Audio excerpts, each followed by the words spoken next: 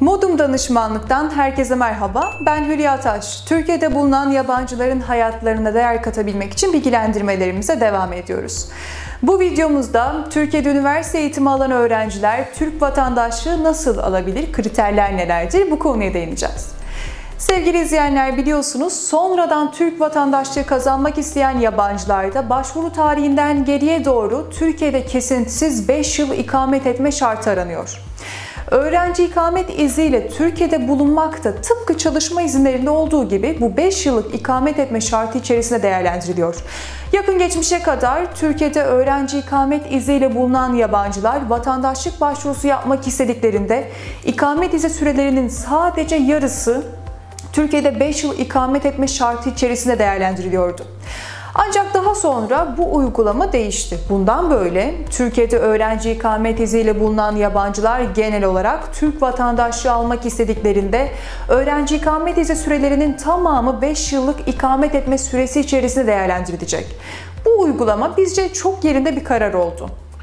Yeni uygulamaya göre söz gelimi siz Türkiye'de 4 yıl üst üste öğrenci ikamet iziyle kalmış ve sonrasında da bir yıl çalışma izniyle Türkiye'de bulunmuşsanız 4 yıl boyunca almış olduğunuz öğrenci ikamet izinizin tamamı 5 yıllık ikamet etme süresi içerisinde sayılacağından vatandaşlık başvurusu yapmaya hak kazanabileceksiniz.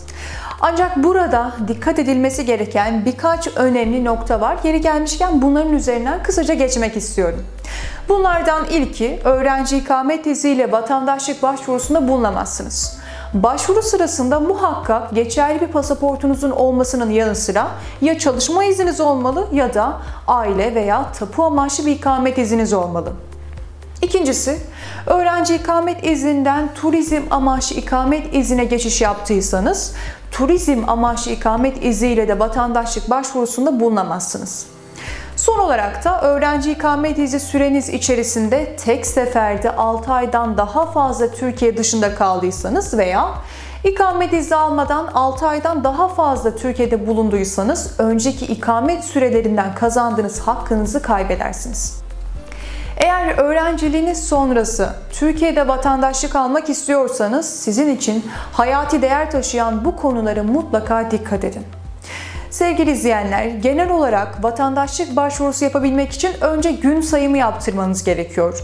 Gün sayımının sonucunda vatandaşlık başvurusu yapmaya hak kazandığınız anlaşılırsa Nüfus ve Vatandaşlık İşleri İl Müdürlüğü'ne evraklarınızla birlikte başvurunuzu yapabilirsiniz. İşlemlerin sonuçlanma süresi yaklaşık 1,5 yıl kadar sürüyor. Bunu göz önünde bulundurarak pasaport ve ikamet izi sürenize dikkat etmelisiniz. Çünkü işleminiz süresince Türkiye'de yasal bulunmanız gerekiyor. Eğer siz de binlerce müşterimiz gibi Türkiye'de vatandaşlık almak istiyorsanız bizi hemen arayabilirsiniz. Unutmayın Modum Danışmanlık size her zaman doğru, ekonomik ve yasal çözüm önerileri sunar. Videomuzu beğendiyseniz beğen butonuna tıklamayı ve tabii ki gelecek diğer videolardan ve gelişmelerden hızlıca haberdar olmak için abone olmayı da unutmayın. Yeniden görüşünceye dek hoşçakalın.